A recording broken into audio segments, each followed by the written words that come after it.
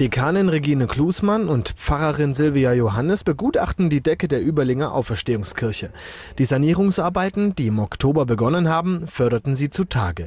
Zwar ist sie fast 150 Jahre alt, aber weil sie schon zu beschädigt ist, sieht auch das Denkmalamt von einer Erhaltung ab.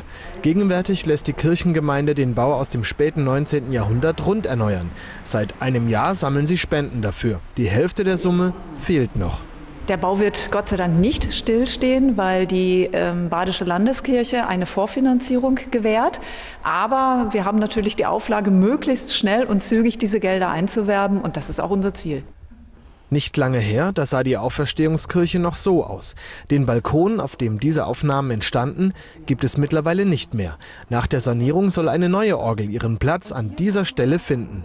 Bis hinauf zur Decke soll sie reichen. Früher, da führte eine Treppe hinauf zum Kircheneingang.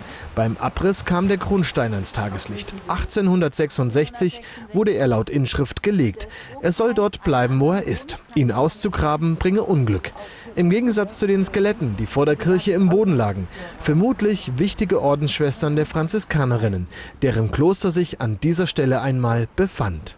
Ich sag mal, es zeigt ein bisschen, dass dieser Ort, an dem unsere Kirche steht, ein, ein heiliger Ort ist. Also ein Ort, an dem schon früher eine Kirche stand, an dem äh, Franziskanerinnen ihren Glauben gelebt haben, hier gewirkt haben, sozial tätig waren und eben auch ihre äh, Konventsmitglieder äh, begraben haben. Und das ist eigentlich ein würdiger Ort für eine Kirche. Und das freut mich, das nochmal so bestätigt zu wissen.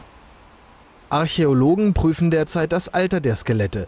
Die Grabbeilagen, die die Toten bei sich hatten, könnten vielleicht im Stadtmuseum ausgestellt werden. Am ersten Advent 2017 soll der Landesbischof die Kirche dann einweihen.